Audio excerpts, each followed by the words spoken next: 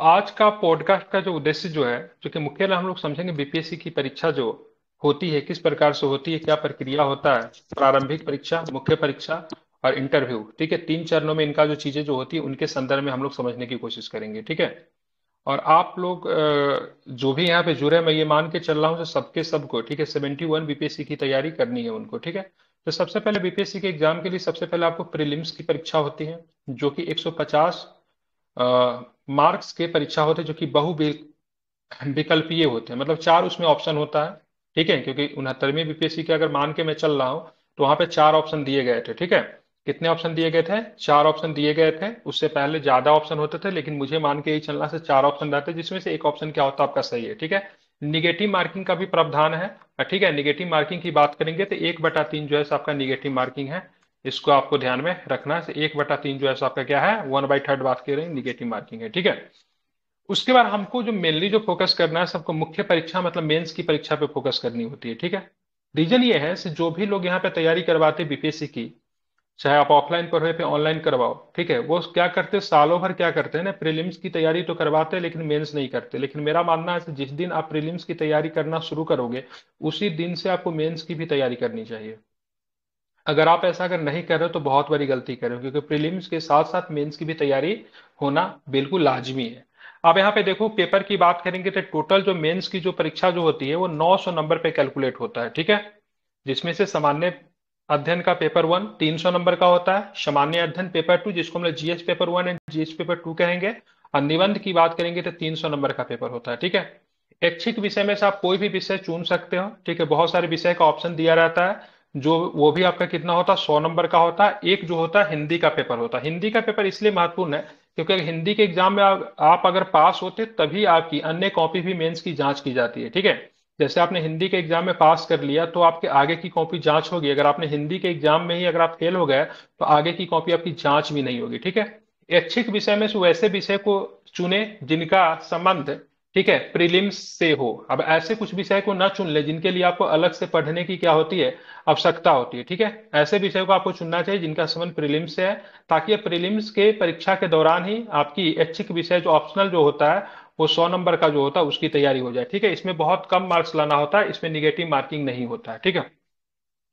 अब ये 900 नंबर का जो पेपर जो होता है, उसके बाद एक पेपर जो होता है, जो कि पेपर तो नहीं होता इंटरव्यू होता है ठीक है, वो 120 नंबर का होता है जिसमें ठीक ठाक नंबर मिल जाते हैं। तो टोटल जो आपका जो मेरिट जो बनता है वो दस 1020 नंबर के आधार पे आपका मेरिट बनता है 1020 नंबर के आधार पे। और ये मेरिट की बात करेंगे तो 1020 नंबर के आधार पे जो मेरिट बन रहा है, अगर इसमें से 55 परसेंट नंबर भी आप लाते हैं तो आप अच्छे पद पे चयनित हो जाते हैं, ठीक है? अब आते हैं, हम लोग देखें पाठ्यक्रम क्या है। अब बात करें प्रारंभिक बीपीएससी का प्रारंभिक परीक्षा का। पाठ्यक्रम की बात करें तो भारतीय इतिहास पूछा जाता है। इतिहास में अगर बात करेंगे तो तीनों सेगमेंट पूछे जाते हैं, ठीक है? तीनों सेगमेंट इतिहास में पूछे जाते हैं, लेकिन मॉडर्न हिस्ट्री का वेटेज ज़्यादा होता है। मॉडर्न हिस्ट्री से 20 प्लस प्रश्न आपको देखने को मिलते हैं। राज्य व्यवस्था, भूगोल, अर्थव्यवस्था, विज्ञान, इनका भी वेटेज अच्छा होता है, तीस नंबर। समय समय की बात करें करेंट नंबर से इनका भी वेटेज तीस नंबर के आसपास होता है। बिहार विशेष की बात करेंगे तो इनका भी वेटेज तीस नंबर का होता है, ठीक है? तर्क शक्ति की बात करेंगे तो फिक्स रहता है दस नंबर का। तो मैंने इन इन सब्जेक्ट का नंबर लिखने के पीछे मेरा ये रीजन है। आप यहाँ पे देखोगे तीस तीस साठ है तीस नब्बे। और बीस यहाँ पे क्या, बीस भी अगर मानकर चला हो तो एक सौ दस। और यहाँ पे गणित की बात करेंगे दस नंबर। तो ये सब्जेक्ट आपके देते हैं एक सौ बीस नंबर।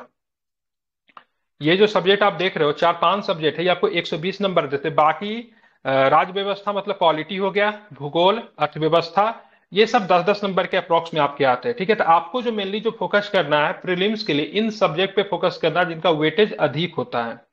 रणनीति की बात करेंगे तो जो नए बच्चे जो है, ठीक है बिगनर है बिल्कुल शुरू से शुरुआत करेंगे, ठीक है? शुरुआत करेंगे, बिल्कुल शुरू से बेसिक से पढ़ना शुरू करेंगे। उसके बाद जो बेसिक से जो भी चैप्टर पढ़ेंगे, जैसे अगर मान लीजिए कोई व्यक्ति बेसिक से पढ़ना शुरू कर रहा है एनसीआरटी पढ़ रहा है, या फिर कोई स्टैंडर्ड किताब पढ़ रहा है तो जो भी चीज़ आप बेसिक से खत्म करे, उसके रिलेटेड आप एमसीक्यू भी साथ में करते रहे। जैसे मान लीजिए आपने बेसिक से शुरू किया। समझिएगा बेसिक चीज़ों को। बोर मत होइएगा। बोर होइएगा तो बोलिएगा मैं बंद कर दूँगा। ठीक है? जैसे मान लीजिए आपने एक चैप्टर पढ़ा, अठारह की क्रांति। तो वहाँ पे आपको तीन चीज़ करनी है। जैसे अठारह की क्रांति आपने किसी भी किताब से अगर पढ़ लिया तो वहाँ पे आपको पहले तो आपने पढ़ा ट्रोली उसके बाद आपको दो काम और भी करना। है अठारह की क्रांति से पी बाई क्यू पे जाना। बोलोगे, सर पी बाई क्यू का मतलब क्या होता है? प्रीवियस ईयर क्वेश्चन तो प्रीवियस ईयर क्वेश्चन अठारह का मेंस में भी पूछा जा चुका है प्रीलिम्स में भी पूछा जा चुका है। तो मेंस के लिए आपको क्या करना है? जितने डायमेंशन बने हैं अठारह के क्रांति का, उसको आपको प्रैक्टिस करना है। और ये क्वेश्चन जो भी क्वेश्चन बीपीएससी के मेंस में आते हैं that means P Y Q में अगर आ रहा है बीपीएससी के मेंस में तो वो रिपीट होगा।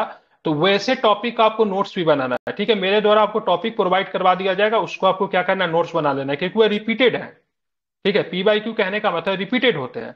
और साथ में अठारह के क्रांति के जितना भी पी बाई क्यू बन सकता है प्रिलिम्स के पॉइंट ऑफ़ व्यू से, वो भी आपको कवर करना है। तो थ्री डायमेंशन वे लेकर चलना नहीं कि अभी आपने अठारह की क्रांति किताब से पढ़ लिया, कल हम उसका प्रीलिम्स का क्वेश्चन करेंगे, परसों उसका मेंस का क्वेश्चन करेंगे। नहीं, आपका टॉपिक समाप्त होने का मतलब क्या होना चाहिए? पहले आप पढ़ोगे कहीं से, उसका पीवाई क्यू लगाओगे प्रीलिम्स और मेंस का दोनों का, साथ में आप उस टॉपिक का, अगर भविष्य में वो टॉपिक रिपीट होने के चांसेस है तो आपके पास उस टॉपिक का नोट्स भी होना चाहिए, ठीक है? इस तरीके से आपकी क्या होनी चाहिए? शुरुआत होनी चाहिए, ठीक है? ध्यान रखना। तो ये हो गया। अब हम देखते हैं प्रश्न का वेटेज क्या रहा है, ठीक है? तो प्रश्न का वेटेज की बात करेंगे तो हम ज़्यादा पीछे नहीं चलेंगे, हम तीन साल का कंपेरिजन करके मैं चल रहा हूँ, ठीक है? मैं मान के चल रहा हूँ, तीन साल का कंपेरिजन करके मैं चल रहा हूँ।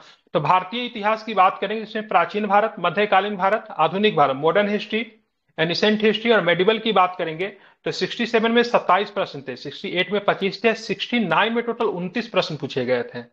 भूगोल की बात करेंगे तो यहाँ भारतीय भूगोल पर्यावरण एवं विश्व भूगोल की बात करें टोटल 18 प्रश्न पूछे गए थे, ठीक है? इसमें कुछ बिहार भी आपका क्या होगा इंक्लूड होगा, ठीक है? अब यहाँ पे देखेंगे भारतीय अर्थव्यवस्था की बात करें तेरह प्रश्न पूछे गए थे। सॉरी अर्थव्यवस्था नहीं, राज्य व्यवस्था डेट मीन पॉलिटी ठीक है? अर्थशास्त्र की बात करेंगे, तेरह प्रश्न पूछे गए थे। सामान्य विज्ञान से अगर देखेंगे 69 बीपीएससी में तो 22 प्रश्न थे। 69 बीपीएससी में थोड़ा उलट फिर आपको देखने को मिला है क्योंकि उससे पहले आप देख रहे हैं, तीस तीस तीस तीस प्रश्न पूछे गए थे, ठीक है? और यहाँ पे थोड़ा क्या किया है? कम कर दिया गया ठीक है? बिहार विषय से बात करेंगे तो हमेशा यहाँ पे 25 प्रश्न के आसपास पूछे जा रहे थे, लेकिन अभी आप देखोगे तो यहाँ पे प्रश्न का दो बार से कम प्रश्न आपको देखने को मिले हैं। बिहार राज्य से, लेकिन समय समायिक की बात करेंगे तो तीन प्रश्न, तीन तरह के समय समायिक मतलब करंट अफेयर्स पूछे जाते हैं, बिहार से संबंधित पूछे जाएँगे नेशनल होंगे इंटरनेशनल होंगे, ठीक है? इनका वेटेज हमेशा तीस नंबर का रहता है, हमेशा ही तीस नंबर का रहता है, ठीक है? लेकिन सिक्सटी सिक्स पीपीएससी में तो सैंतीस प्रश्न पूछ लिया था, ठीक है?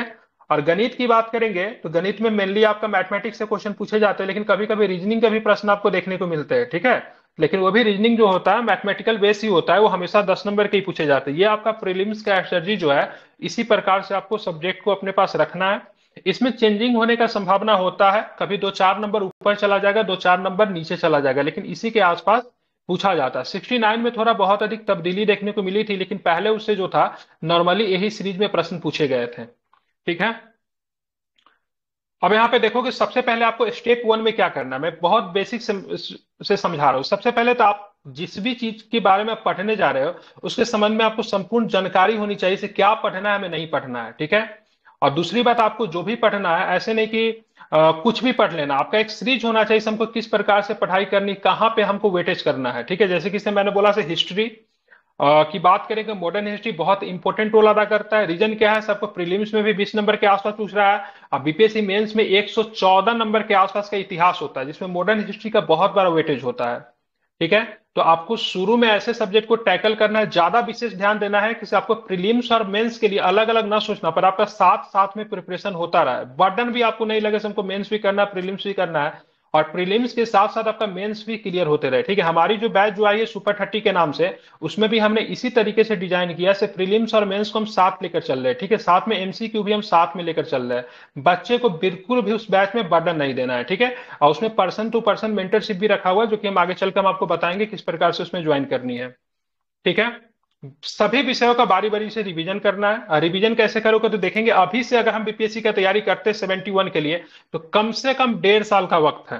ठीक है? ये डेढ़ साल आपका कहीं भी नहीं जाने वाला। बोलोगे सर कैसे? तो अभी अगर मान लीजिए बीपीएससी का एग्ज़ाम कब होगा?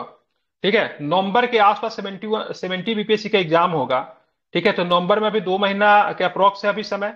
उसके बाद अभी मान लीजिए एक साल और कंटिन्यू कीजिए। नेक्स्ट नवंबर में अगर आप जाते हो ठीक है? और इंटरव्यू मेंस वगैरह सब लगा होगा के। अप्रोक्स आपको देखेंगे तो पंद्रह सोलह महीना तो कहीं भी आपको नहीं जाने वाला है, ठीक है? हम अठारह महीना चल, मांग के चल रहे क्योंकि हो सकता है डिले हो, ठीक है? लेकिन पंद्रह सोलह महीना तो कहीं भी आपका नहीं जाने वाला तो बहुत अच्छा समय है आपके पास। आप करोगे इसमें क्या? अभी क्या करना है छह से सात महीना के अंदर में, ठीक है? चलिए मैं नौ महीना मान के चलता हूँ।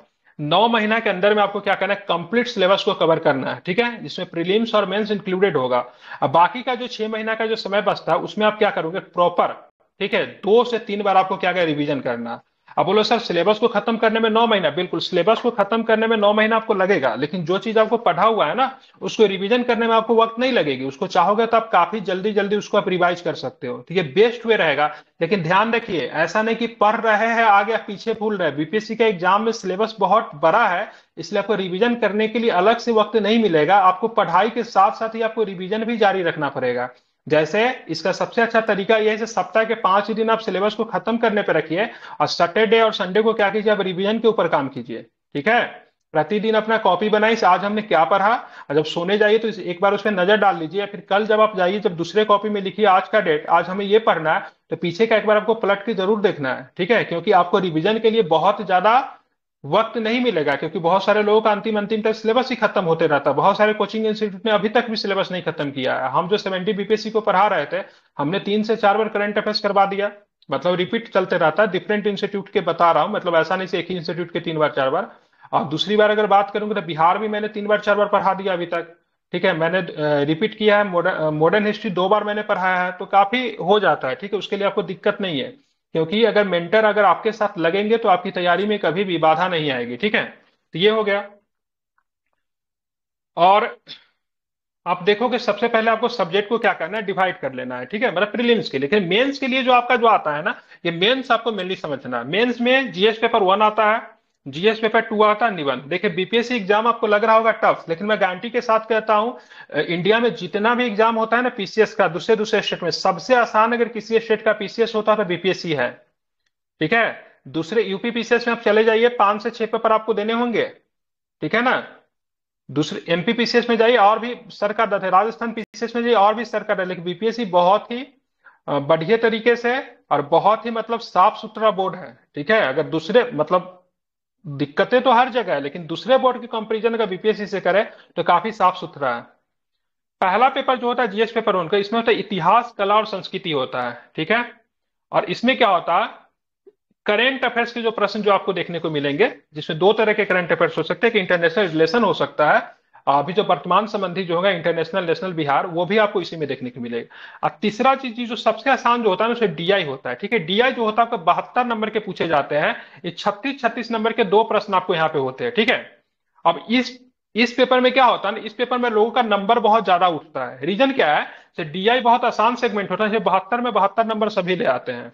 इतिहास भी लोगों का ठीक होता है, सब लोग लिख देते हैं, ठीक है?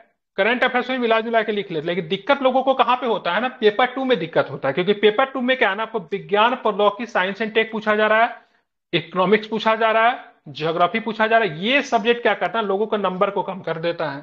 तो इसीलिए किसी को आप देखेंगे, इसमें नंबर रहेगा 170 175 और इसमें नंबर सीधे 120 125 ऐसे आ जा रहा है, ठीक है? तो आपको क्या करना है ना, ये सेगमेंट को लेकर जीएस पेपर वन के अलावा आपको जीएस पेपर टू को भी मतलब क्या करना है, बहुत मतलब बढ़िया आपको साथ में लेके चलना है, ठीक है? साथ में आपको निबंध। निबंध में आपको बारह निबंध आपको दिए जाएँगे लिखने के लिए, ठीक है, वहाँ पे। मतलब तीन टॉपिक में, प्रत्येक टॉपिक में चार चार चार चार निबंध होते हैं, उसमें से एक एक चुन के आपको लिखना है।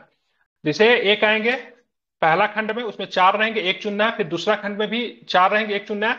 और तीसरा खंड में मतलब रहेंगे ना, चार निबंध रहेंगे, जो कि बिहार के विशेष फोकस जो रहता है, बिहार से संबंधित होता है, ठीक है? जैसे बोल बोल देगा से बात, धोबी के कुकुर न घर के, न घाट के, चले ना आवे तो अगना टेर, ठीक है? इस तरह का प्रश्न पूछ देगा, और उस पर आपको निबंध बना के आपको क्या रहता है, लिखना रहता है, ठीक है? तो मैं वो सिखाऊँगा आपको। तो यही, जीएस पेपर ये जो देख रहे हैं, यही आपका रिज़ल्ट बनाता है।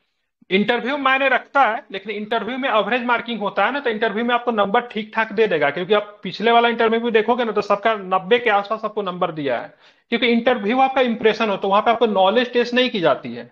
नॉलेज टेस्ट करने के लिए आपने प्रीलिम्स दिया है मेंस निकाला, तब आप इंटरव्यू में पहुँचे तो नॉलेज तो आपकी टेस्ट हो गई। वहाँ पे देखा जाता है आपकी इंप्रेशन कैसी है हाउ टू यू बिहेव ठीक है? आप एक प्रशासन के तौर पे मतलब चीज़ों को चलाने के पक्षधर हो कि नहीं मतलब चीज़ों को आप डील कर सकते हो कि नहीं, उस तरह की आपसे कंडीशनल चीज़ें आपकी, आपसे वहाँ पे पूछी जाएगी, ठीक है? लेकिन यहाँ पे ठीक है, नब्बे नंबर के आसपास मिल जाता है अप्रोक्स की बात करेंगे तो मैंने पिछले कई लोगों के पेपर में देखा, अब मैं उनको पर्सनली जानता हूँ तो उनका इंप्रेशन ठीक ठाक है, ठीक है तो वो आ जाएगा। बाकी आप पाँच दिन, छह दिन हमारे संस्था की तरफ़ से आपका इंटरव्यू का प्रिपरेशन करवाया जाएगा, उसके लिए पैसे नहीं लिए जाते हैं।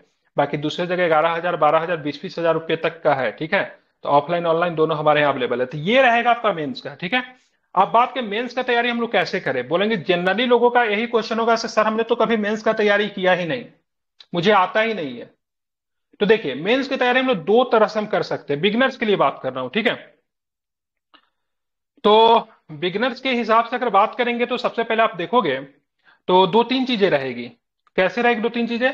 तो जैसे मान लीजिए आपको शुरू में मेंस नहीं लिखना है, आपको शुरू में टॉपिक लिखना है, ठीक है? अभी जो हमारे यहाँ जो बच्चे जो ज्वाइन किए हैं मेंटरशिप प्रोग्राम को देखिए, ये भी अठारह बच्चे ने कल तक ज्वाइन किया था। ठीक है, जो हमारा सुपर थर्टी बैच जो चल रहा है तो हमने सबको टॉपिक लिखवाना शुरू किया। अब देखोगे सर टॉपिक क्या होता था टॉपिक आप देखोगे जैसे आप टॉपिक लिख रहे हैं, जैसे मान लो एटीन का टॉपिक हम लिख रहे हैं तो ये सीधा सीधा लिख रहे हैं। लेकिन जब वो एटी फिफ्टी से बोलेगा अठारह सौ संतावन के क्रांति के संदर्भ में, लिखे से भारत मतलब भारतीय, भारत के संदर्भ में अठारह सौ संतावन की क्रांति किस प्रकार से महत्वपूर्ण स्थान रखती है? लेकिन वही जब मेंस का कॉपी बनाएँगे तो बोलो, बोलेंगे उसका आलोचना करो। ठीक है, उसमें मतलब धार्मिक कारणों का उल्लेख करें, इन सारे चीज़ों को बनाएँगे तो हमें डायमेंशन जब बनेंगे ना तो वहाँ पे कॉपी को थोड़ा फ्रेम वगैरह करना पड़ता है तो वो आप लास्ट में जाके सीखोगे। अभी क्या करना है ना आपको टॉपिक समझ लेना है टॉपिक में पूछा क्या जा रहा है टॉपिक पे आपको लिखना आ जाना चाहिए। और ये करने के साथ साथ आपको क्या करना है, विगत तीस वर्षों में अर्थस्मी बीपीएससी से लेके 68 तक या फिर 69 तक, ये 31 वर्ष हो रहा है ना, हालाँकि कंटिन्यूस एग्ज़ाम नहीं हुआ है, ऐसा नहीं कि 31 वर्ष में 31 एग्ज़ाम हुआ है जितने भी पीवाई क्यू के प्रश्न पूछे गए हैं, जितने भी अभी तक पीवाई क्यू के प्रश्न पूछे गए, सारे को आपको कंप्लीट करने हैं और सारे को आपको क्या करना है नोट्स भी बनाना है, ठीक है? और ये हमारे द्वारा करवाया जा रहा है, ग्यारह तारीख से जो बैच जो आ रहा है पीवाई क्यू का, जो कि seventy first BPSC special batch रहेगी, जो कि सेवेंटी फ़र्स्ट बीपीएससी के बच्चों के लिए ही रहेगी, वो सबसे पहले पीवाई क्यू करवाऊँगा। मैं पीवाई क्यू आपको, मैं दो से ढाई महीने में पीवाई क्यू करवाऊँगा और रही बात मतलब उसके बाद तो उसके बाद जब पी पीवाई क्यू जब आप कर लोगे ना तो आपको ओवरऑल लिखने का थोड़ा बहुत आइडिया हो जाएगा। ये नहीं कि तो आप प्रो हो जाओगे, ठीक है? लेकिन हाँ आपको लिखने आ जाएगा तो कॉपी पे हमको लिखना कैसे है, आपको आइडिया हो जाएगा हम क्या लिखेंगे तो हमको नंबर मिलेगा, और कहाँ पे आपकी नंबर कट सकती है। मतलब ओवरऑल आपको आइडिया हो जाएगा, ठीक है? फिर जब हम लोग पीवाई क्यू जो कंप्लीट कर लेंगे, तब आपको प्रतिदिन के हिसाब से आपको क्वेश्चन दिए जाएँगे, ठीक है? तो पीवाई क्यू जैसे ही आप कंप्लीट करोगे ना तो आपका थर्टी परसेंट चीज़ जो रहेगा ना, आपका क्लियर हो जाएगा। मतलब आप आपको कोई ये नहीं कह सकता से नहीं, इसको तो बकवास लिखता है, इसको कुछ आता नहीं। तीस परसेंट चीज़ें ही आपकी क्लियर होगी पीवाई क्यू से। फिर आपको जो डेली बाई जो क्वेश्चन जब दिया जाएगा तो वहाँ से आपका 40 परसेंट चीज़ जो होगा कवर होगा। 70 परसेंट चीज़ कवर करने के लिए बीपीएससी में कम से कम सेवेंटी फ़र्स्ट की बात करा रहा हूँ, छह महीना का समय चाहिए। अब यहाँ पे छह महीना का समय दे दिए आगे चल के बचा मेरे पास नौ महीना बीपीएस सेवेंटी बीपीएससी फ़र्स्ट के मेंस के लिए, क्योंकि मैं अठारह चौदह में पंद्रह महीना का ही मान के चल रहा हूँ। ये नौ महीना में ना, ठीक है, इस महीने नौ महीने को हम लोग तीन तीन कैटेगोरी में बांटेंगे three plus three plus three इस थ्री प्लस थ्री में आपका तीन बार आपका क्या होगा मेन्स का रिविजन होगा। ठीक है? मतलब तीन सीरीज़ में लेकर चलूँगा। पहले आपको पीवाई क्यू करवाऊँगा, फिर आपको प्रतिदिन के हिसाब से क्वेश्चन करवाएँगे। और तब आपको क्या करेंगे? कंप्लीट सिलेबस आपको दिया जाएगा। अब बाबू क्या करो? कंप्लीट सिलेबस को अटेम्प्ट करना है। वो भी कंप्लीट सिलेबस एक बार तीन महीना में खत्म करना, फिर तीन महीना, फिर तीन महीना, फिर तीन महीना। तब जाके आपकी संपूर्ण मतलब क्या होगी?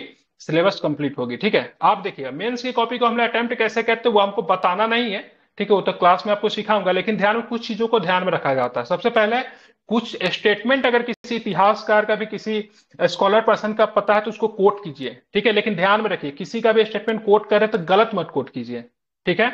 मानचित्र का प्रयोग किए जहाँ पे आवश्यकता रहे, मानचित्र का प्रयोग करना है, वहाँ पे मानचित्र का मैप बना सकते हैं आप। ग्राफ का प्रयोग करना है चार्ट का प्रयोग करना है, जिसको हम माइंड मैप कहते हैं, जहाँ जैसे मान लीजिए फंडामेंटल राइट के बारे में आप लिख रहे हैं मतलब भारत मौलिक अधिकार का आलोचनात्मक परीक्षण कीजिए तो कुछ फंडामेंटल राइट है जो कि बस नाम मात्र का दिया गया तो वहाँ पे जहाँ पे अनुच्छेद की आवश्यकता होगी, वहाँ पे लिखे कुछ प्रश्न की बात करें, जैसे यूसीसी पे कुछ लोग लिख रहे हैं प्रश्न, जैसे यूनिफॉर्म सिविल कोड समान नागरिक संहिता कहते हैं तो उसमें मतलब हो सकता है कुछ न्यायपालिका का जजमेंट आया है तो उसको कोट कर दीजिए, कुछ करेंट का अभी संदर्भ है तो उनको उनसे जोड़ दीजिए, कुछ डाटा को लिखना सीखिए तो ये सारे चीज़ों करके, ठीक है हाँ ये बहुत इंपॉर्टेंट ध्यान में ये रखा जाता है अगर किसी प्रश्न को अगर हम लिख रहे हैं, ठीक है जैसे आज ही हमें कॉपी चेक कर रहे थे, जैसे किसी प्रश्न को आज हम लिख रहे, दिखा रहे थे आई थिंक आज आज ही मैंने चेक करके डाला है। तो एक मिनट बता रहा हूँ। हाँ ठीक है, जैसे इन्होंने एक प्रश्न लिखा था यूसीसी के ऊपर क्वेश्चन था, ठीक है? ये यूसीसी के क्वेश्चन था, भारतीय संविधान में वर्णित समान नागरिक संहिता को अधिनियम करने की आवश्यकता एवं इस संबंध में, इस संबंध में ध्यान रखना कौन सा चुनौतियाँ विद्यमान है ठीक है तो सारा कुछ, सब कुछ लिखा हुआ तो कोई दिक्कत नहीं था। फिर भी मैंने इनको मार ढाई नंबर दिया सात नंबर में। एक नंबर इनको और मिल सकता था। रीजन क्या था? से रीजन यहाँ पे ये था, से इन्होंने अभी करंट में जो मुद्दे जो चल रहे उसी से को लेकर, इस पर प्रश्न वर्तमान में जो हुई संदर्भ हुई है, उनकी चर्चा करें। मतलब इनको अभी उत्तराखंड में इसी से लागू हुआ, उनके संदर्भ में इनको चर्चा ज़रूर करना चाहिए। चार से पाँच लाइन भी अगर ये और लिख देते तो इनको एक नंबर और मिल सकता था। मतलब एग्जामिनर ये देखता है सब जिस बच्चे को हम चुन रहे हैं, वो बच्चा रट कर आया वाकई में वो अभी के करंट माहौल से मतलब क्या अपडेट भी है, ठीक है? इस चीज़ को बहुत ध्यान में रखा जाता है। तो वैसे प्रश्न को हमेशा करंट के चीज़ों से जोड़ना सीखिए, ठीक है? जिसमें बन सकते, वो डायमेंशन बन सकते। अब ज़बरदस्ती नहीं जोड़ना है, ठीक है? ज़बरदस्ती नहीं मुगल के बारे में कोई प्रश्न पूछा तो मुगल के बारे में भी क्या हुआ? हाँ हो सकता है, मान लीजिए कोई सौ साल पूरा हुआ, पचास साल पूरा अगर होता है तो पुरानी चीज़ें भी नहीं बन जाती है डेट टाइम लेकिन हाँ जहाँ पे करंट के मुद्दे जुड़ सकते हैं तो वहाँ पे ज़रूर जोड़ना चाहिए, ठीक है? निबंध के बारे में अभी विशेष नहीं बताऊँगा। निबंध आप लोग जब निबंध में मेच्योरिटी बहुत चाहिए, ठीक है? निबंध का कोई आपको तरीका नहीं बता सकता है, ठीक है? निबंध जो होता है, निबंध मतलब जिसमें किसी प्रकार का बंधन ना हो, ठीक है? आपके अंदर खुद मेच्योरिटी आएगी, उसके लिए आपको क्या करें? पुरानी कहानी पढ़नी चाहिए। शायरी हो गया, लोकोक्ति मुहावरा हो गया, विद्वान हो गया, विद्वान के स्टेटमेंट शो है, कोई टीवी का अच्छा सीरीज़ आपको देखना चाहिए। ठीक है? दो चार किताबें हैं, मैं बताऊँगा, किताबें सजेस्ट करूँगा, किताबें पढ़ना चाहिए माइक बंद करके रखिए, ठीक है? तो खुद ब खुद चीज़ें अपने अंदर इंप्रूवमेंट हो जाएगी, ठीक है? ध्यान रखना।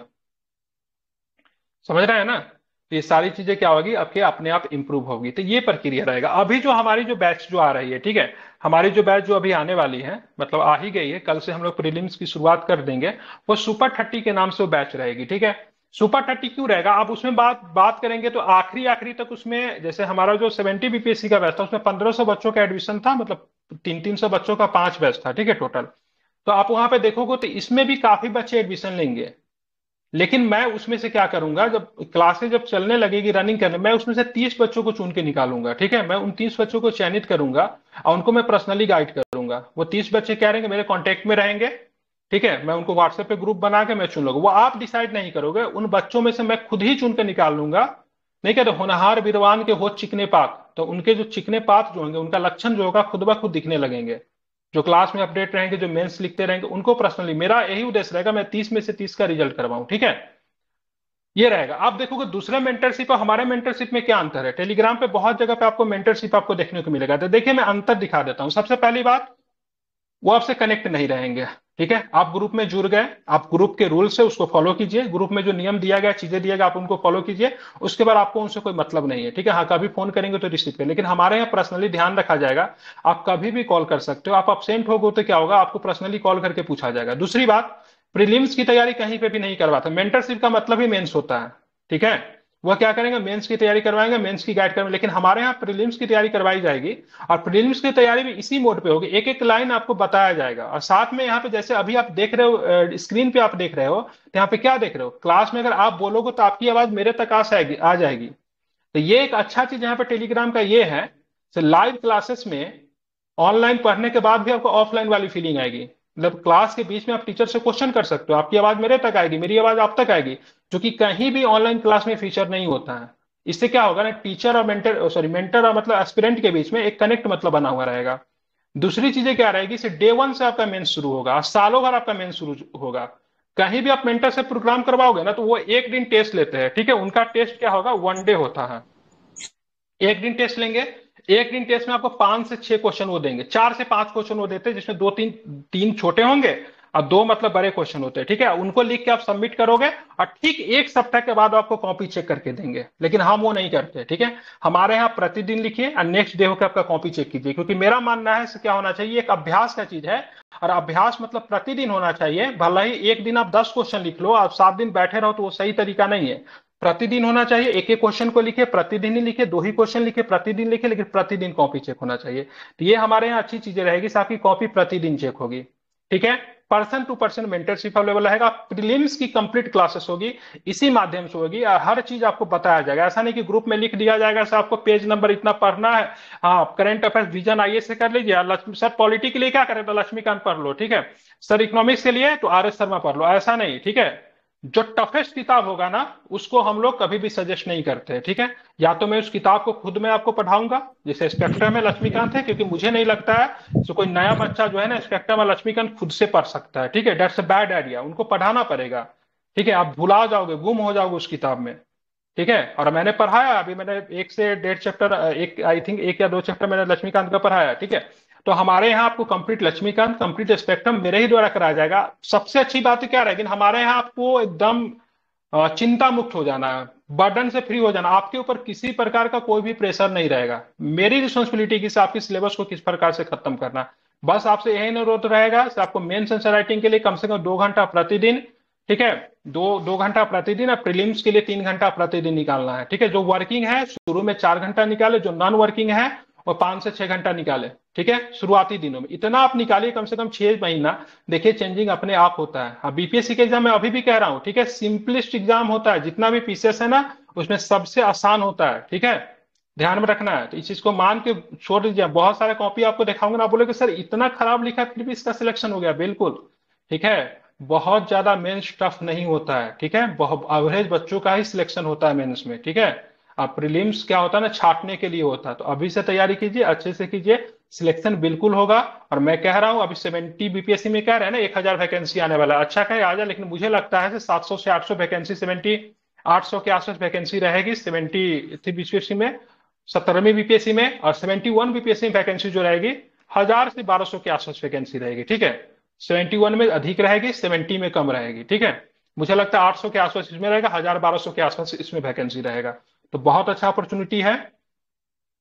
इसमें लग जाइए अभी से, ठीक है? और जो प्रोग्राम जो आपको बताया गया है, उसको फॉलो कीजिए। काफ़ी कम फ़ी रखा गया, अठारह महीने के आसपास कोर्स है, ठीक है? मात्र इसके सोलह सौ निन्यानवे रुपया में इस प्रोग्राम को, ठीक है? आप इसको ज्वाइन कर सकते हैं। आगे इसका भविष्य में फ़ी बढ़ने की चांसेस है। इसमें आपकी कंप्लीट प्रीलिम्स मेंस और इंटरव्यू इंटरव्यू परम आई के थ्रू ठीक है? आपका पटना में ऑफलाइन ऑनलाइन दोनों बोर्ड में क्या होगा? अवेलेबल होगा। अब जो आप लोग का क्वेश्चन है, उस क्वेश्चन पे क्या करेंगे? हम लोग मतलब क्या करेंगे? बात करेंगे।